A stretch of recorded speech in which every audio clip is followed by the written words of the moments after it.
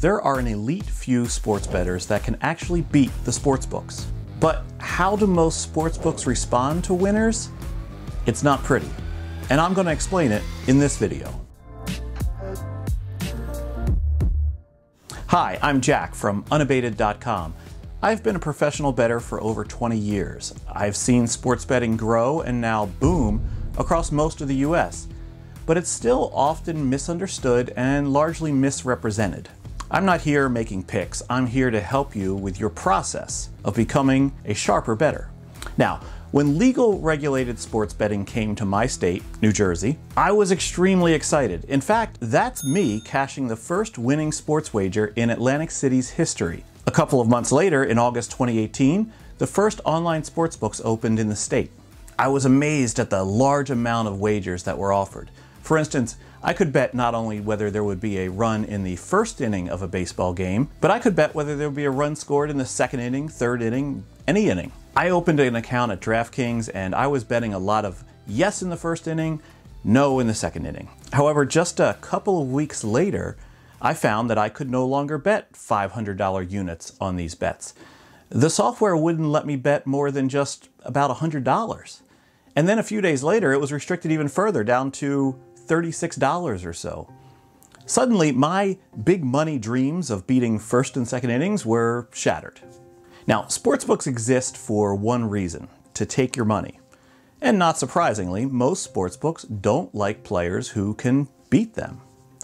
So, what do they do? They make it harder for winning players to bet with them. This is often accomplished by either outright rejecting the wagers attempted by sharp bettors or imposing limits as to how much they'll accept from a sharp bettor. But how does a sportsbook know who's sharp and who's not?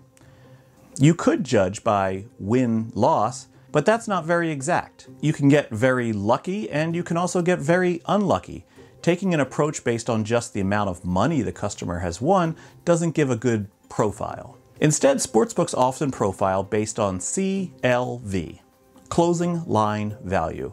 Now, closing line value assumes that if markets tend towards efficiency, then the most efficient price of a wager would be when the line closes or when the game begins. If you got a better price than the closing line, you're said to have positive closing line value. Conversely, if the market moved against you, you would have negative closing line value. Sportsbooks look for players who have positive closing line value as an indicator that they know what they're doing. Another way they identify sharp bettors is by watching their betting tendencies. Now, how you bet is a big indication of whether you know what you're doing. For instance, a recreational bettor tends to love betting on seeing things happen. They're more likely to bet overs because of that.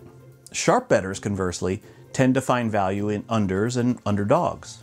Sharp bettors also typically avoid bets in a sports book that have a high house edge. They often avoid betting parlays or, or futures bets. Sharp bettors also look for the best line on a game before making a wager. And if a sportsbook notices that a bettor is only betting there when they have the best line, it's a good indication that that bettor may be sharp. So once a sportsbook identifies you as a sharp bettor, the most common counteraction that they take against you is to lower your limits. Now, if you go to a casino and you're looking to play a game like blackjack, there's often a sign on the table that tells you what the minimum and maximum bet limits are. Oddly, in most sports books, they don't have the max bet limit listed. It's determined player by player.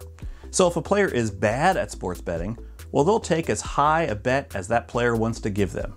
However, if a player is good at sports betting, the limits come crashing down. As I mentioned earlier in my experience with DraftKings, I was betting $500 on these second inning lines, only to one day find that my limits were suddenly much lower. I kept betting even though I was at reduced limits, and they lowered them even further. Now, the remarkable thing about these limits is that they extended across all sports and all bets I wanted to make.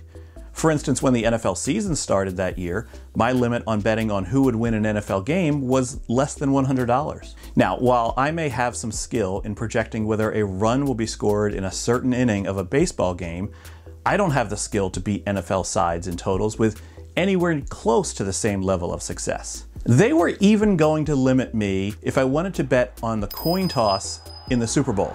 Now that's a bet I couldn't possibly have an edge on, but they tried to limit me. This is the first example of how sportsbooks can shoot themselves in the foot when imposing limits. They use blanket limits on every bet type for a bettor that shows an ounce of skill. Nobody can beat every sport, so to limit a bettor on every sport seems short-sighted. Another faulty thing that sportsbooks do is to read too much into that closing line value. For instance, I knew a player who was a huge Yankees fan. He'd bet the Yankees every day. And at the start of the 2019 season, sports betting was new in his state. The Yankees had a formidable lineup, and they opened the season against the then lowly Baltimore Orioles. Each day, as early as he could, he'd bet on the Yankees to win, often laying big odds. As the day went on, the line on the Yankees got bet into by everyone else. So the first three days of the season, the line on the Yankees steamed upward, and as a result, he got significant closing line value. On the fourth day, he found himself limited to just $50 on any baseball betting at that sportsbook. You see, they mistook his Yankees fandom as something sharp. In reality, it was anything but sharp, but the sportsbook read too much into the closing line value. Then there are the rare sportsbooks that actually invite sharp action. To them, sharp action is a signal. It tells them which side the sharps are on, and they can encourage action on the side of the game opposite the sharps. Let's call that the square side. By doing this, they can increase their profits. These sportsbooks pay for the information. The expected loss they have booking a sharp bettor is counterbalanced by the information they get from the sharp bettor. Now, ironically enough, these sportsbooks often have posted limits that apply to all the bettors evenly. They don't need to play the limiting game. Now, if you think trying to win at sports betting sounds dreary, you have to realize that there is a game within the game for many sharp bettors.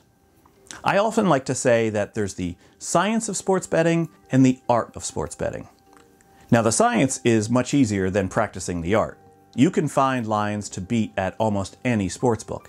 However, being able to get the money down and last long enough to realize your profits is much harder. Let's discuss ways sharp bettors get around limits. First, in most of the US, the popular way to place a wager is via an app. However, in doing so, the sportsbook knows your name and all of your information. Some sharps prefer to actually bet in person to be more anonymous, especially if you bet at the counter on different shifts or at different sportsbooks. However, even then, the sportsbook may start to recognize your face over time. Some sharp bettors sneak in their bets at automated kiosks in the sportsbook. Sportsbooks typically take lower limits at these automated kiosks, However, the bettor often has the ability to rebet anonymously at a different kiosk after making their original wager. The other way sharps overcome betting limits is to bet through other people. Now, the legality of betting through someone else varies based on the approach used. Sharp bettors are always going to find creative ways to get back into the sportsbook, even when the sportsbook indicates they don't want their action. So in the battle between winning sports bettors and the sportsbooks, Limiting and rejecting bets is the most effective weapon the sportsbook has. Knowing what they are looking for and how to avoid detection can give the sharp bettor a longer life at the sportsbook. Do you need more proof that sportsbooks can be beaten? Well, let me show you in one of the videos listed here on the screen. There's a big world of sports betting knowledge out there. Let's explore it.